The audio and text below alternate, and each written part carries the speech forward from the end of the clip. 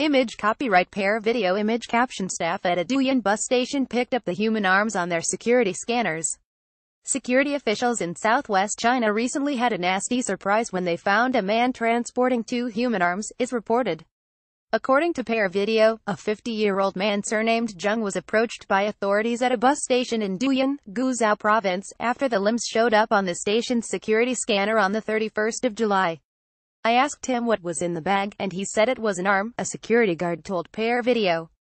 According to the South China Morning Post, staff immediately detained him, suspecting that he had been involved in a murder.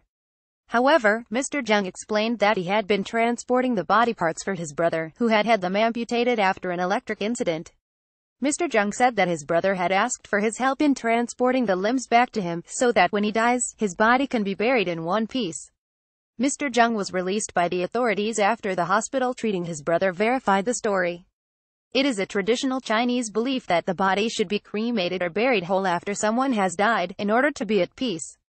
However, many online readers are bewildered by the story, given that medical personnel are required to secure permits for the transportation of human body parts in China. Image copyright Pear Video image caption security scans are standard procedure at Chinese bus stations. Reporting by Kerry Allen. Next story. Chinese restaurant offers bra-sized discounts Use news from elsewhere. To stay up to date with our reports via Twitter.